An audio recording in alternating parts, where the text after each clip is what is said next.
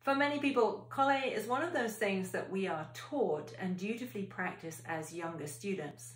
But we seem to find ourselves in the situation where 2 plus 2 doesn't really equal 4. We might recognize that our fingers need flexibility. Maybe they seem rather stiff, or maybe we can't start the sound clearly enough and are taught collé to get a sticky beginning. But all the work pulling and extending the fingers in the traditional collé exercises doesn't really seem to do the trick. The fingers don't seem to find flexibility, or perhaps they've become too floppy as a result. Perhaps we have to constantly think about keeping them flexible in certain passages, usually when we need shorter strokes. Those collé exercises are hard work, pulling the fingers in and shooting them out again. As is so often the case with many of the traditions in our teaching heritage, we have a case of right idea, faulty means of getting there. How many of us ever have to think about whether our fingers are suitably flexible or not during the day? If you think about it for a minute, we hold and move so many different objects in so many complex ways. Yet this question of flexibility never crosses our minds. It certainly would cross our minds if it felt bad and the fingers felt wrong. Our brains would surely throw a red flag of warning at us, probably because it would feel as if we were going to drop the object or perhaps it just felt unstable in the hand. So like many aspects of playing, when we look directly into daily life, our bodies are clearly processing the necessary information with total ease. So much so that most of the time we don't notice anything at all. Imagine trying to cook a meal and being concerned about the flexibility of your fingers. It would be very difficult to cook. So imagine trying to play an etude or indeed a whole symphony worrying about them in this way. Equally important to consider is that it really cannot be the case that we need more finger muscles to move the bow. Many of the objects that we hold and move during an average day are way more cumbersome and awkward than our bows. Yet most school gym classes do not include collé as part of a general health curriculum, and I don't know anyone who goes to the gym after work to practice collé. But joking aside, we are alarmingly good at swallowing this type of technical stuff on our instruments because of the culturally inherited problems. There is a video on just this topic. It is really worth holding a mirror up to the illogical reasoning and corresponding activities that have become so deeply rooted in our traditional teaching. The actual meaning of the word collé is glued. This is not in dispute. The word is accurate. But what is in dispute is how we interpret it physically at the instrument and in our bodies. So let's look at an example. Supposing you take any reasonably sized object with some degree of weight to it, like a mug or a shampoo bottle, not an empty one, it'll be too lightweight to really feel what we're trying to look at. It might just be a glass. And you put it on a table, I'm gonna rest it on this book, at a comfortable height. Using either hand, doesn't matter which, gently put your hand on it. And what you notice straight away is that you can already feel the collé element. The object is indeed glued to the table. Just try moving it a tiny amount and a little tiny wiggle and you can feel that stickiness. I often refer to that stickiness as the Velcro moment. The combination of gravity and friction caused by the interaction of the object which has weight, your arm which has weight, and the solid surface that the object is resting on will produce glue and exactly the right amount of glue according to all the elements involved. It's very important to say with this in mind that the arm touching the object feels an easy touching and resting. It is not collapsed or holding up. The arm is simply resting down, comfortable, buoyant and present to the object. This is the same when we stand on the floor. We're buoyant and present to the floor. We don't sag or yank ourselves upwards. If you try lifting the arm a little bit or feeling floaty with the arm, the glue starts to become unstuck. Equally, if you sag and collapse into the object, the glue becomes heavy. It really feels overglued.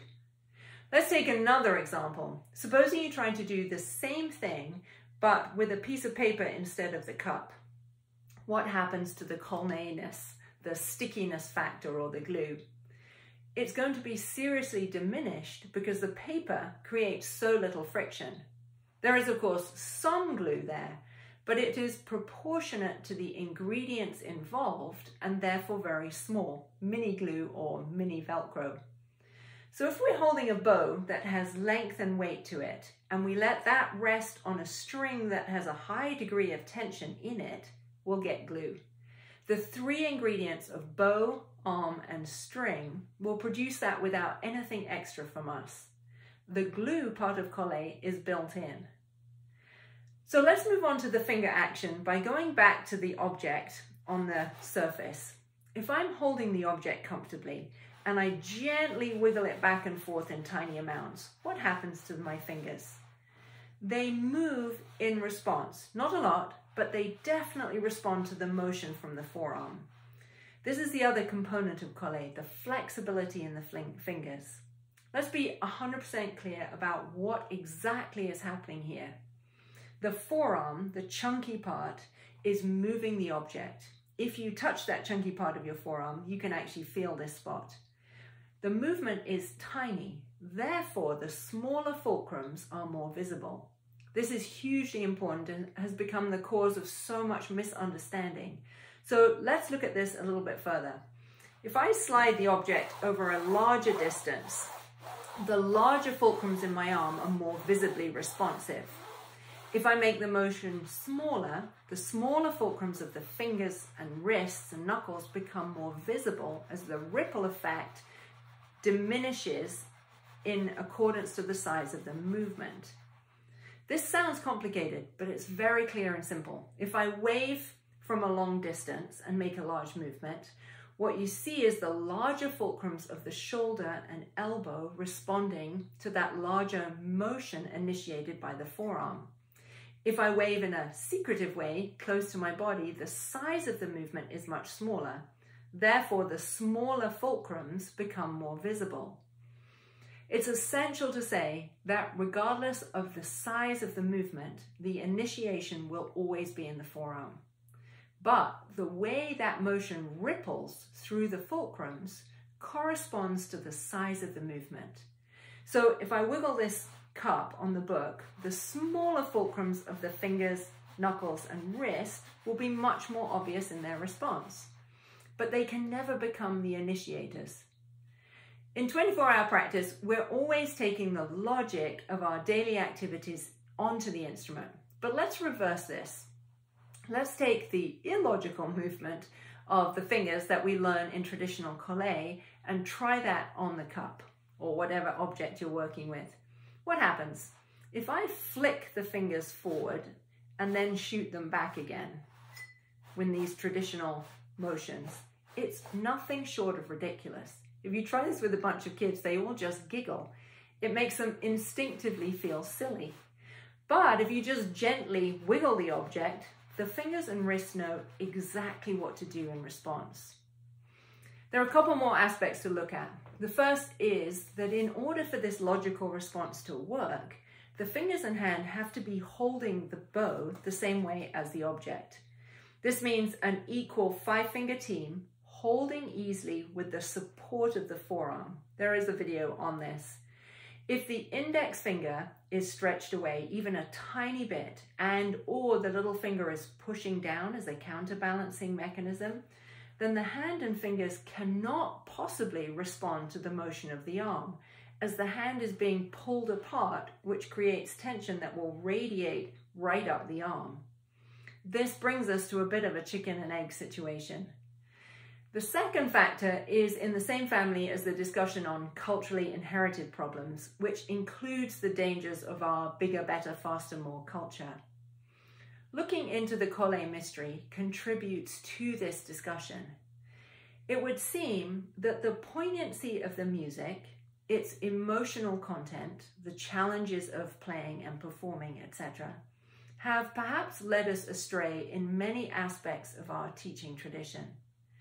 The music itself is indeed enormous in its human capacity, but that doesn't mean that the weight of its human message has to be equalized by the creation of unnecessarily complex movements at the instrument and force us to use alien movements.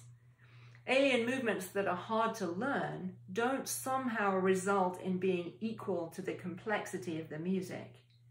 Surely the opposite would seem far more logical. If we are to really communicate the complexity and the profound nature of the music, then we need to be so simplified in our physical relationship to the instrument that our brains and bodies actually have enough space that we are really free to communicate the music. We couldn't survive one mealtime moving the knife and fork with these traditional collé motions. So why would we be able to put our hearts and souls into the music by employing them? The glue is happily built in for us, as is the responsiveness in the fingers. If we're having problems with either, then we need to check first if there is any holding up or collapsing in the bow arm that will disturb that glue. The bow arm has to recognize its fundamental down or easy resting on the string. And then perhaps we'll have to check that the five finger holding mechanism is really working with the support of the forearm so that the fingers can actually respond. If all is well with both of these, then the rest is built in. So let's look at all of this on the violin.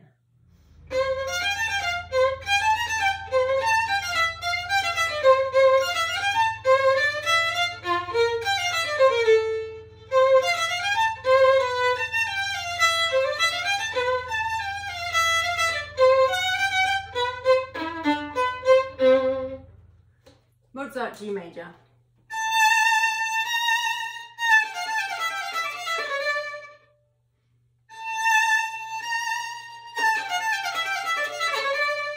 Or the next phrase.